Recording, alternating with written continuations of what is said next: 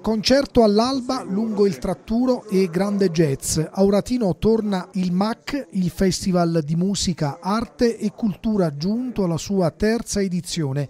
Il pezzo forte di quest'anno è il concerto all'alba, già sperimentato dal musicista e direttore artistico del festival Simone Sala. In programma anche altre due serate in uno dei borghi più suggestivi del Molise. Il 18 agosto il concerto del Double Drum Sextet Sestetto capitanato dal trombettista Flavio Boltro. Il 3 è un numero eh, magico diciamo in qualche modo, quindi eh, speriamo che anche l'evento possa eh, essere un, un, evento particolare.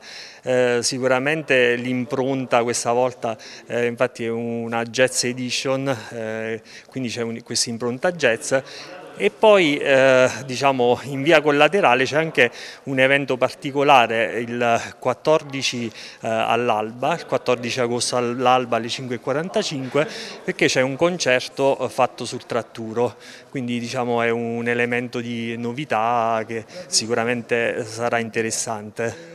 Il cartellone è stato presentato alla Gil di Campobasso, raggiante l'assessore alla cultura Vincenzo Cotugno ma la gente vuole rinascere dopo la pandemia, c'è una grande voglia di ripartenza e di ripartire. Lo, lo, facciamo con la musica, lo facciamo con il grande cartellone di turismo e cultura, ma anche di Molise e musica.